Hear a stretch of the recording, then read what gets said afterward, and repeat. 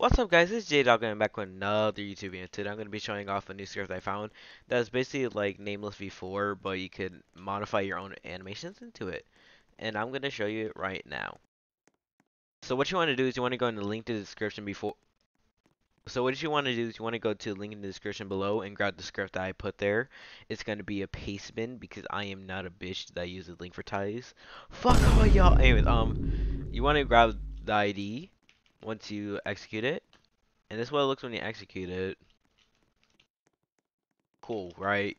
You're robotic. Wow. Anyways, um, you put the ID and you press play or whatever you're doing.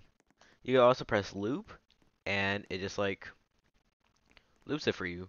This is completely FE. And if I went to if I went to a random player, it would see it.